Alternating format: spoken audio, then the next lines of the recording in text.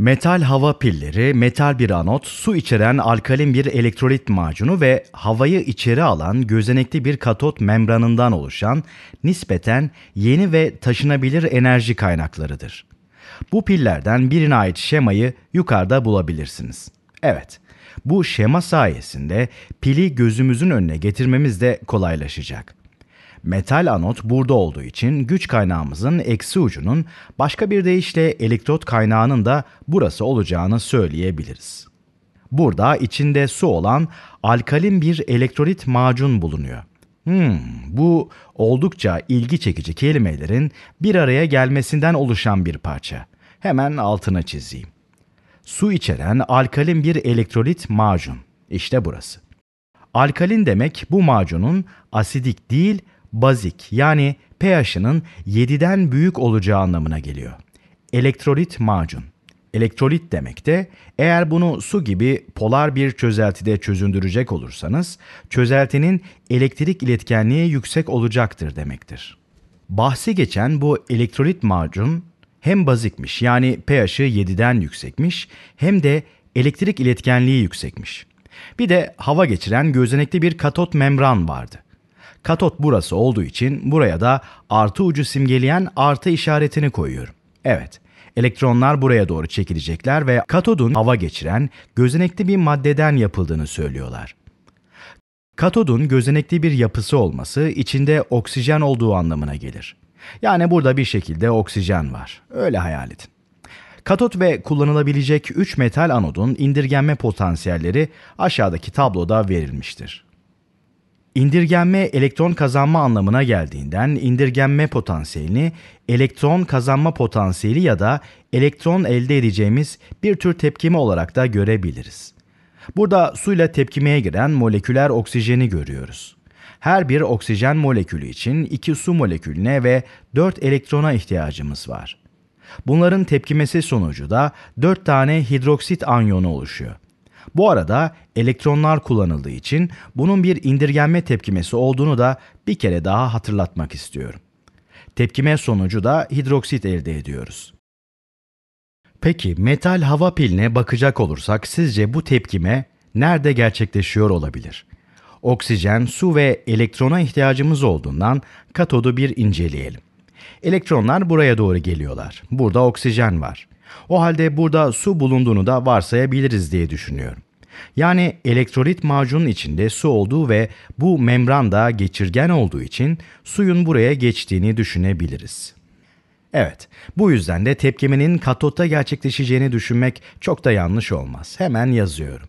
Gaz halinde oksijen artı her bir oksijen için iki tane su molekülü ki su sıvı halde olacak ve buradaki telden gelen elektronlar.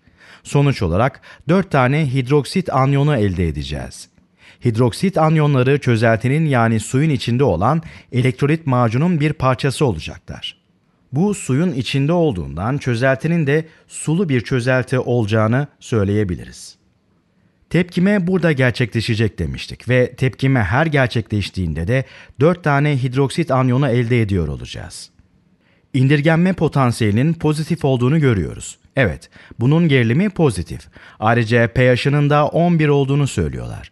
pH'ın 11 olması soruda verilen bazik özellikle de örtüşüyor. Elektrolit macun bu membranın gözeneklerinden giriyor olabilir. Sonuç olarak da hidroksit anyonları elde ettiğimiz için daha yüksek yani daha bazik bir pH'a sahip olacağız.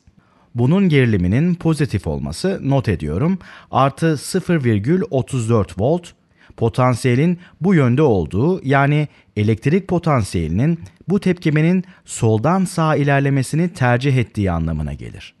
Bize katodun indirgenme potansiyelini de vermişlerdi ve burada zaten ondan bahsettik.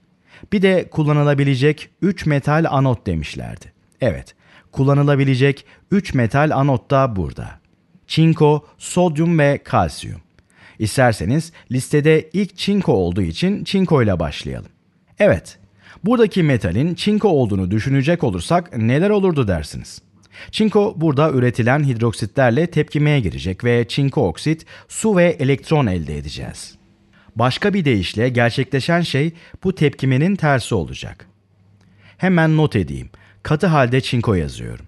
Bu da anodun çinkodan yapıldığı anlamına geliyor. Her bir molekül çinko için suda çözünmüş iki tane hidroksit anyonuna ihtiyacımız var. Ki elektrolit macunu bazik yapan şey de budur zaten. Bunların tepkimesi sonucu da katı halde çinko oksit olacak ve sıvı halde suyla iki tane de elektron elde edeceğiz. Evet, bu bahsettiğim tepkime de işte tam burada gerçekleşecek. Katotta üretilen hidroksit anyonları bu yönde ilerleyerek anoda gelecekler ve burada çinko ile tepkimeye girerek çinko oksit oluşturacak. Su da elektrolit macundan geçerek katotta yeniden tepkimeye girecek ve iki tane de elektron ortaya çıkacak. Böylece burası bir elektron kaynağı haline gelecek ve bu elektronlar da buraya yani katoda doğru ilerleyip yeniden tepkimeye girecekler. Bunun bir enerji kaynağına nasıl dönüştüğünü görüyorsunuz değil mi? Evet, bunun sonucunda bu devrede de bazı işler yapılacağını düşünüyorum. Enerji kaynağına zaten bu yüzden ihtiyaç duyulur, öyle değil mi? Neler olup bittiği hakkında fikir sahibi olduğumuza göre sıra geldi sorulara. Metal hava pillerinin ilk versiyonlarında anot olarak çinko kullanılmıştır. Ne hoş.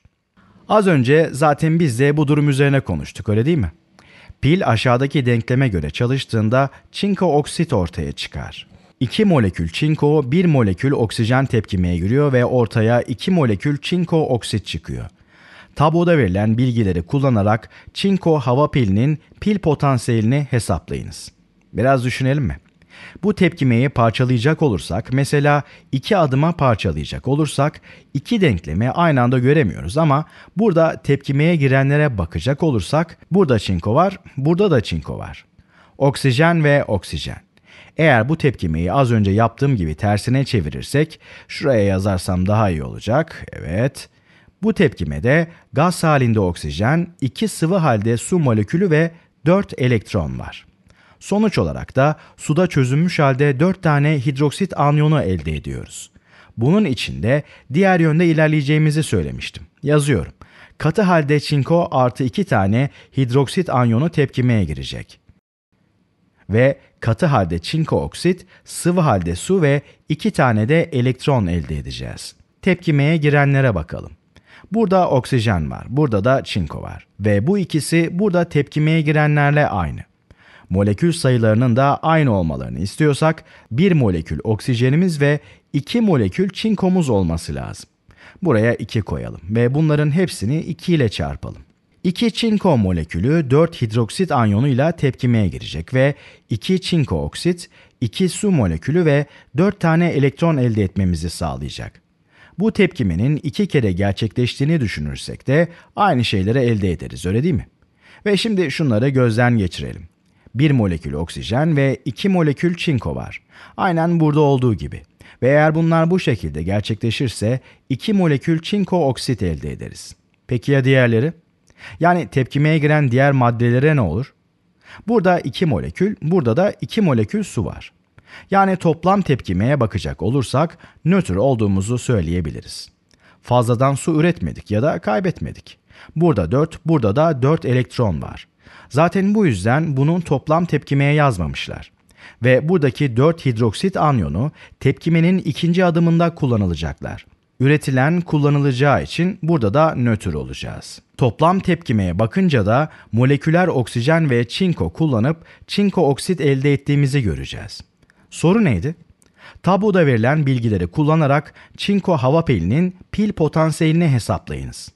Üstteki tepkimenin potansiyeli artı 0,34 volt. Peki ya alttakinin? Bu tepkimenin tersini almıştık öyle değil mi? Ve bu tepkimenin potansiyeli negatif olduğu için tersini alınca bu tepkime için pozitif bir potansiyel elde ederiz. Artı 1,31 volt. Bazılarınız tersini almanın yanında bir de iki katını aldığımızı düşünüyor olabilirsiniz. İki katını alınca gerilim neden iki katına çıkmadı? Tepkimede ortaya çıkan enerjiyi düşünecek olursak evet haklısınız. Yani tepkimeye girenleri iki katına çıkarır ve aynı tepkimeyi iki defa gerçekleştirirsek enerji de iki katına çıkar. Ama gerilimin birim yük başına düşen potansiyel enerji olduğunu unutmayın. Yani bu mutlak enerji değil. Birim yük başına düşen enerji olduğundan bunu daha fazla yapmamız gerilimi değiştirmez. Bu önemli bir nokta. sakın aklınızdan çıkarmayın. Toplam enerjiden ya da entropiden bahsediyor olsaydık, tepkimenin iki tarafını 2 ile çarpınca enerjiyi de 2 ile çarpardık. Ama gerilimden bahsediyoruz ve gerilim yük sayısına ya da molekül sayısına göre değişen bir şey değil. Birim yük başına düşen potansiyel enerjidir. Ve bu yüzden de bu toplam tepkime için bu iki gerilimi toplayacağız ve sonuç olarak 1,65 volt elde edeceğiz.